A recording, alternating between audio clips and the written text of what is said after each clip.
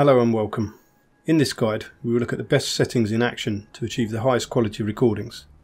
The gameplay you are watching from Middle-earth Shadow of Mordor was captured using the settings detailed in this guide. I will explain most of the options so that you know what they do and how they might affect recording quality and performance. If you do not wish to know the details, you can just copy the settings from each tab and skip to the next. But knowing what each setting does may help you troubleshoot issues in the future and save you time in the long run. It will also give you an idea of what settings to tweak if you experience performance issues, and I will mention these as we go along as well. Okay, let's get started. After opening Action, start by setting the location where your recorded files will be saved. You can leave the default location if you wish. But if your PC has more than one drive, I would recommend setting the recording directory to be separate from the directory that your games and applications are run from. I have two solid state hard drives and run my games and applications from my C drive and set action to record to my B drive. This usually leads to better performance, as the task of running and recording a game are shared between the two drives. If you're able to do this, I highly recommend it, but using a single drive for both tasks is entirely acceptable.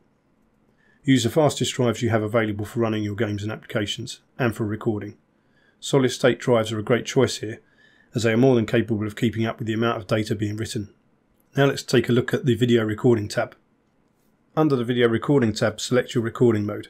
I'll be using active screen as I have two displays. You can also use games and applications. The settings are the same for both. Select the following options. File format AVI. This will provide you the best quality RAW file to edit later in your program of choice. The AVI option will create much larger files than MP4, but will be higher quality. If storage space is a concern, you could use MP4 which has compression applied to it by action. But I would recommend AVI if possible. If you choose MP4 recording, you'll also need to select a hardware acceleration option. This will be based on your hardware, so I'm unable to cover all the different possibilities in this guide.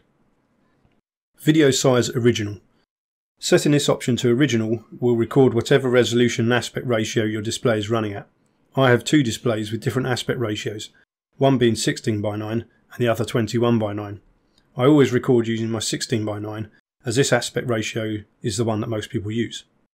If I record using 21 by 9 there will be black borders around my videos for anyone watching on a 16 by 9 display. Setting a video size option to original records whatever resolution and aspect ratio your active display is running at, even if it is not a directly selectable resolution. So for anything not covered by the specified video size options, use the original setting. If you want to select one of the other options you can, but original will suit whatever resolution you normally use, even 1080p. If you have a specific reason to record a lower resolution, then go ahead and select it from the list. Video frame rate 60. I use this setting to record gaming footage, but you could switch to 30 frames per second for other recordings such as desktop capture and similar projects if you want to. For gaming though, 60 frames per second will give the viewer a smoother and more pleasant experience. Just try to make sure that you can achieve 60 frames per second in the game you're playing. If not, I prefer to lower graphics settings until I can get as close to 60 frames per second as possible, as I believe this gives the viewer the best experience. Microphone always record. I set this to always record as I will edit out anything unwanted later and prefer not to have to push a button to talk. If your situation is different, select any option you like here. Audio Recording tab. Output format WAV or WAVE if you prefer. For the same reasons as we selected AVI in the video recordings tab, Let's start with a raw, high quality audio recording and then edit and re-encode later in our video editing software. If space is a concern, you can try MP4. Microphone always record, and again that's so that we don't have to push a button to talk. Allow multi-channel recording. Check this box to enable recording of two separate audio channels at once. In our case this will be the game or application sound and our microphone. Later in this guide we'll set up recording our microphone into a separate audio track from our game or application sound. General Settings tab. This tab has multiple sub-tabs, so let's start with the video recording settings. Video quality ultra. Higher settings mean better quality at the cost of larger files. You can lower this setting and the bitrate option if your PC struggles, but try to keep both as high as possible to achieve the best quality recordings.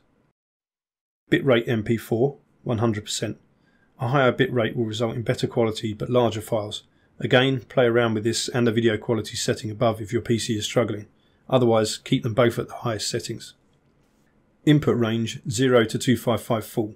This is usually the best setting for most scenarios, but it's possible you could find that 16 to 235 gives a better result on some occasions. I've never found cause to use 16 to 235, but if you're unhappy with your end result, or you're looking to troubleshoot an issue, you could try changing this setting. Use multi-core recording. Check this box to enable it. This allows Action to use its own optimized encoding algorithm for recording. If you're suffering performance issues, you can try disabling this setting, which will cause Action to record using a single CPU core. I recommend you have it checked if possible though. Record mouse cursor. You may not need this for game recording, but do check this box if you plan to create any tutorial videos that would benefit from the viewer being able to see where your mouse cursor is. In this situation, you may want to enable the next option as well, which is visualize mouse clicks.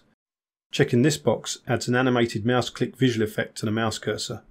This can be useful to assist the viewer in keeping track of your mouse, but note that this only works when using video size original uh, which is an option we discussed earlier under the video recording section. Audio settings tab. Record system sounds. Check this if you want to record the sound from an application or a game you're running. Allow multi-channel recording. Check this for the same reason mentioned in the Allow multi-channel recording section previously. Audio device. Select the device from the list that you use to playback audio. In my case it's the headphone output of my Blue Yeti microphone. AAC we can leave at default. When you leave it at default, it will record at your system default settings. If you prefer, you can choose a specific bitrate. Microphone Settings tab, Audio Device. Just select your microphone from the list here. Record microphone into separate audio track. Uh, we want to enable this option. We want our microphone audio in a separate track so that we can edit it later. By having a separate audio track, we can work on the audio recorded by your microphone individually without affecting the audio recorded from our game or application. This will enable us to get rid of plosives and sibilants, for example. This is very important if you want to make high quality videos and present a professional image to your viewers. Audio balance settings, system sound and microphone. These options are more important when using Action Live streaming, as then the balance between your system sound and microphone audio will be of greater importance. As this guide is not focused on live streaming, we can adjust audio levels during our video editing process, and we've already set up recording into two separate audio tracks to make this possible later. HUD settings. Do not record HUD during desktop recording.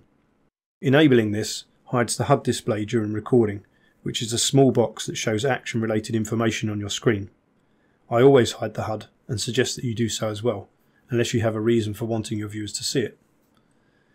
Do not record HUD in games and applications and that's for the same reasons we just talked about. Export settings. Use hardware acceleration for video encoding. Enable this to speed up exporting and lower CPU usage. Export mouse cursor and visualizations. Enable both of these options unless you don't want the mouse cursor to show in your recordings. The visualization option will not have any effect unless you've enabled the visualize mouse clicks option under the video recording settings tab earlier in the guide. If you choose to enable that option later, you may as well have this one checked too, in case you forget to do so when you want them to be exported in the future. Hotkey settings. You can choose whatever you want here or leave the default. The only recommendation I have is that you ensure that the hotkeys you select, or the defaults if you use them, do not clash with hotkeys used in a program or game you are recording. If you want to reset your hotkeys to default, unfortunately, there is no option to do so within Action. So here's a list of the default hotkeys for your reference. I wish you the best of luck with your recording projects and please leave any feedback you have regarding this guide in the comments below. If you found this information useful, please like, share and subscribe and check out our other videos. Thanks for watching.